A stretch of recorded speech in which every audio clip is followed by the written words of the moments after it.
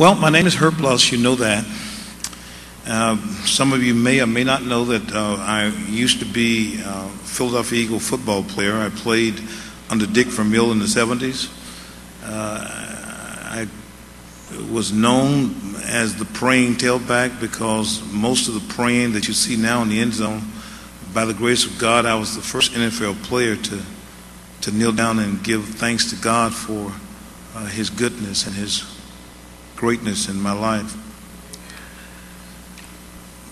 When I got drafted by the Philadelphia Eagles, I told them I would play three years, and after three years, I would quit and go into some form of ministry. Didn't know what type.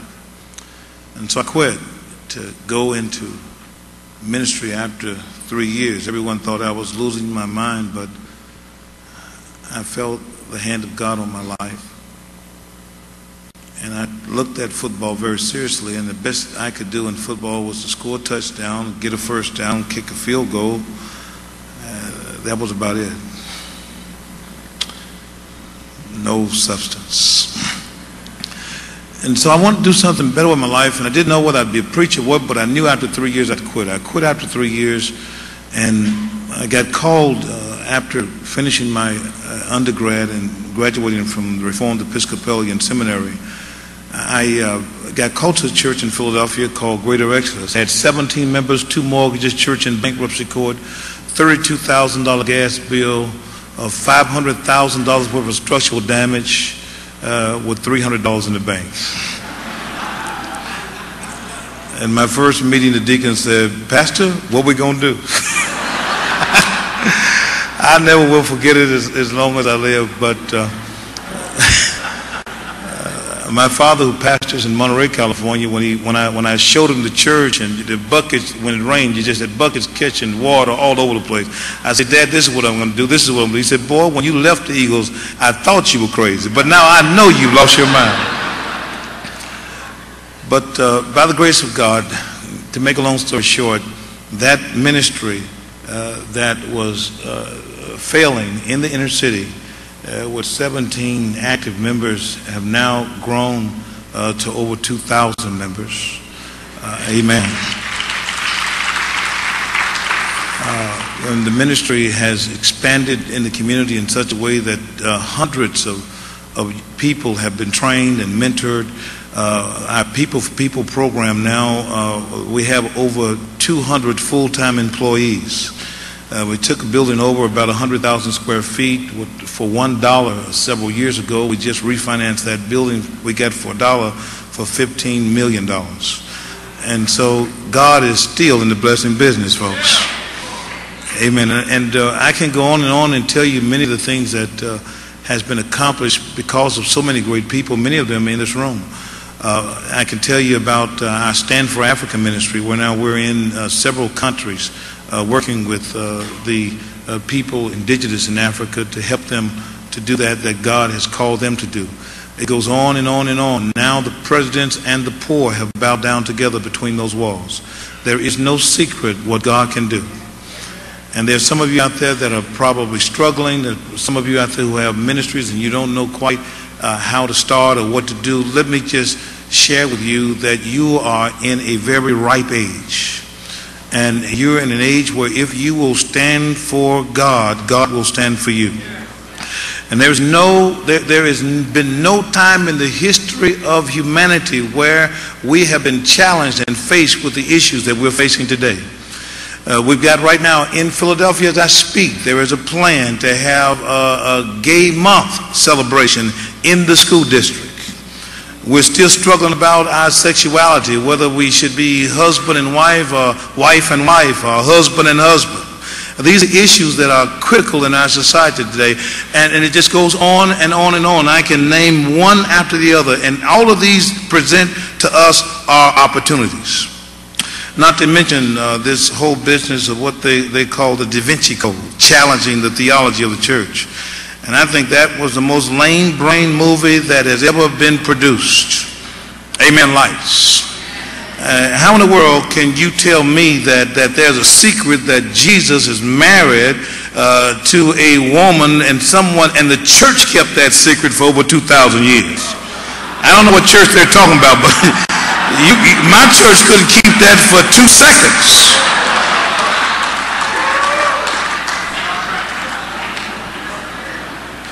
Well, Pastor, how, how, how, how did you do it, Pastor? What, how did you come from 17 active members to, to the point now where you have a thriving ministry and you're reaching out into the community? Right now, we're training 1,000 welfare recipients a year in computers and getting them jobs. How do you get to the point where you're mentoring children and mentoring children of inmates? How do you get to point where now you are uh, doing the things that are affecting change in the lives of people? Well, my friends, I, I do believe this with all of my heart. We need more, more, more zeal. I believe that with all of my heart. I think think the church of the living God is letting God down. Bin Laden can say to one of his members, get in a plane and, and, and hijack it with a razor blade and drive it into a building and kill 3,000 people and we can't get our folk to come to 3.30 afternoon service. Oh, y'all, we have lost our zeal. We've lost it. We've lost it. We've lost it. And, and, and, there's a passage that I just want to share briefly. I don't have time. Before long, they're going to be telling me to sit down. But let me get it in before I sit down. Uh, in Matthew 11, 12, it says this, from the days of John the Baptist until now, the kingdom of heaven is forcibly advancing. And they that lay hold to it, they do it by force.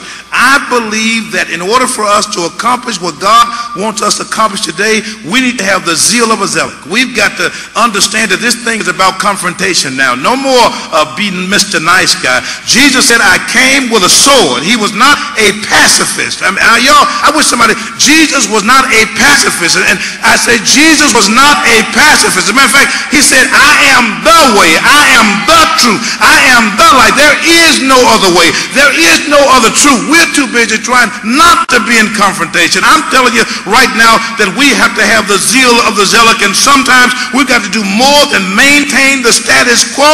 We've got to stand, and if we have to fight, we have to fight. Somebody ought to say amen. He's not a pacifist. He's not. A, I come with a sword, he said. He was a revolutionary person. He was a revolutionary personality. Over and over again, there was confrontation. Wherever Jesus was, somebody had to make a decision. And so we need the zeal of a zealot to make it, and we need the attitude of an athlete. And I had to say that, of course, that's my background. uh, but, but, but we need the attitude of an athlete. I am so sick and tired of half brain moping and groping Christians walking around like it looks like they need a VA. We need the attitude of that. We need to be diligent. Paul knows what I'm talking about. He said, I press toward the mark or the prize of a high calling of God. Over and over again, he uses the terms of athletes. When I was in pro football, we had a thing called YAC yards. And YAC yards stand for yards after contact. You determine the greatness of a running back not by how many yards he gained uh, when he went through a hole that was wide open, but you determine his greatness by how many yards he got after he had been hit. And my friends, I think that's how you will establish your greatness for Jesus Christ. It will be after they have talked about you. It'll be after they have lied about you. It'll be after they said it's not going to work. It'll be after they say that you don't have enough uh, intellectual properties. It'll be after they've said all of those things. And when you show them how many yards you can gain after you've been hit, then we'll be able to change our communities. Job knows what I'm talking about. Uh, they went to Job and said, Job, your family is gone. All your stuff is gone. And, and Job, Job started making YAC yards. after he had lost his wife, after he had lost his children, after he had lost his cattle, after he had lost everything. I heard Job say, though he slay me, yet will I trust in him. I know my Redeemer liveth, and I'm going to wait until my change come. Somebody here ought to say amen. Then we need the guts of a gladiator. Amen. Some, some, some, I want you to understand that every prophet in the Old Testament died because he stood for the kingdom. And somebody has to get to the point in this Christian ministry. Bin Laden doesn't have a problem asking people to give their lives. Somebody's got to be ready to die. Somebody here has to realize that Jesus says that he that seeketh to save his life will lose it. Somebody has to remember what Paul said. Paul said uh, uh, that, that, that for me to live is Christ and to die is gain. The guts of a gladiator. Somebody has to remember uh, what happened with Jacob and that angel wrestled with him all night long. And at the end of it, in the morning, the angel tried to call time out. And Jacob said, uh, ain't no time out. I ain't going to let you go until I get my blessing. And then we need, finally, and I'll sit down. I think I got a little bit more time left, don't I? We need the spirit of a soldier. Of a soldier. If you want to turn your communities around, you need to have the spirit of a soldier. In other words, my friends, some things you're going to have to fight for. The devil has taken a whole lot of our stuff taking our families, taking our homes, taking our marriages, taking our health, taking our joy, our minds, and many of our dreams have been taken. We have to fight to get them back. The devil got some crazy folk out there, but I've got to, some news for you. I've met some folk that are crazier that can out crazy the devil. Are y'all hearing what I'm saying? and that's what has to happen. We have to get to the point where we'll out crazy the devil. He has set up strongholds in our community. Strongholds. And I got to tell you, somebody may have to get me out of jail because I am going to fight as hard as I can about that gay month. I'm going to fight. Get me out of jail, somebody, because I'm going. Somebody here ought to say amen. And so, and so he set up strongholds, and they're trying to set up strongholds in our schools, strongholds in our jobs, strongholds. And we have to fight. I say we have to fight. And, but our weapons that we fight with are not carnal. Are y'all hearing what I'm saying? We, we, part, part of what we fight with is, is prayer. John talked about it this morning. Uh, we also fight in our worship and in our praise that in spite of everything, we still need to praise God. And then, most importantly, we need to fight with the Word of God. Amen. I close with this. We fight with the Word of God. I said we fight with the word of God. Man shall not live by bread alone, but by every word that proceedeth out of the mouth of God. We fight with the word of God. Amen. And we don't argue the word of God. We, we, we, do you know what God has said about us in his word? They that, that, that, that bless you, I will bless them. They that curse you, I will curse them. Do you have any idea what God is saying in his word for you and I? And we've got to use that word. And, and don't argue, please don't, don't waste your time arguing God's word. I like what Martin Luther King said. Martin Luther said. Martin Luther said this. Martin Luther says, the word of God is like a lion. You don't, you don't have to, you don't have to defend it, just let it loose. Come on here, somebody talk to me. The word of God is like a lion. You do not have to defend it. All you have to do is let it loose. I wish somebody here would say, let it loose. The Lord is my light and my salvation. Whom shall I fear? The Lord is the strength of my life. In whom shall I be afraid? When the wicked, even mine enemies and my foe came on me to eat my flesh, they stumbled and fell. I wish somebody would say, let it loose.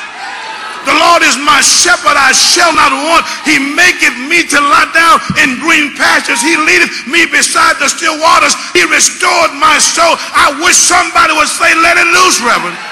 Hallelujah. Thank you for telling me to let it loose. Uh, there is no weapon formed on earth that shall prosper against you and I. We are going to make it. All things are possible with God. Greater is he that is in us than he that is in the world. Hath thou not known, hath thou not heard that the everlasting God, the Father, the creator of the ends of the earth, he fainteth not, neither there's no searching in his understanding. He giveth power to the faint. Am I right about it, somebody? Hallelujah.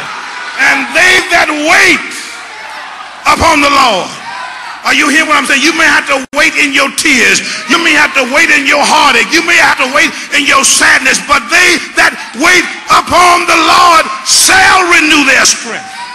They shall mount up with wings like eagles. Come on here, white folks. Somebody say amen. You hear us black folks saying amen, you come on with us. We do this sometimes. We have church like this sometime.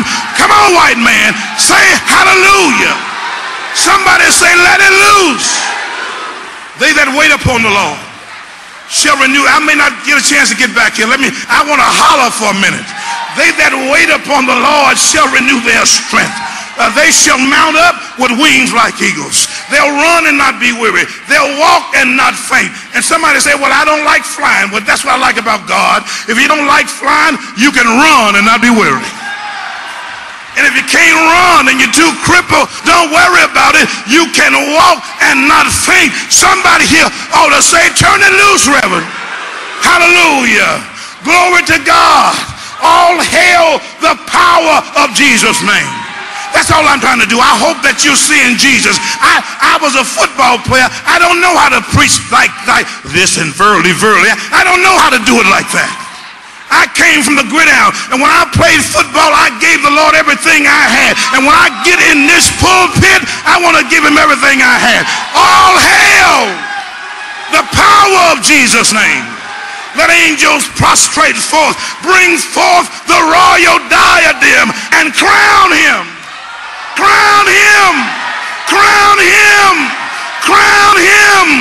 Crown him. Crown him. Yes! Yes! Yes! Yes!